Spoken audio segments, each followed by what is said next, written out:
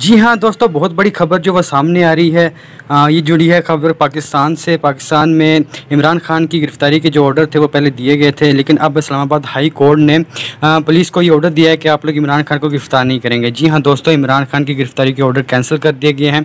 इससे पहले जब गिरफ्तारी के ऑर्डर दिए गए थे तो पुलिस जो थी वो बनी गाला गई थी इमरान खान के घर पर तो वहाँ पर काफ़ी ज़्यादा वाम इकट्ठी हुई थी तो वाम ने पुलिस के साथ काफ़ी हाथ झगड़पन वगैरह सब कुछ किया था लेकिन इमरान खान की गिरफ्तारी नहीं होने दी थी।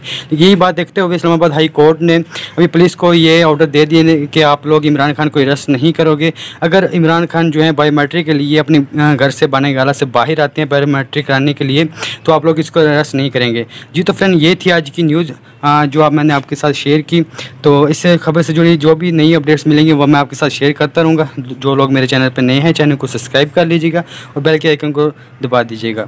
और मुझे फ्रेंड एक चीज़ आपको बतानी थी कि जो लोग मेरे चैनल को मतलब कि सब्सक्राइब किए बगैर वीडियो को देखते रहते हैं तो प्लीज़ मेरे चैनल को सब्सक्राइब ज़रूर कीजिएगा, क्योंकि मेरी जितनी नाइनटीन परसेंट जो ऑडियंस है, उन्होंने अभी तक चैनल को सब्सक्राइब नहीं किया हुआ।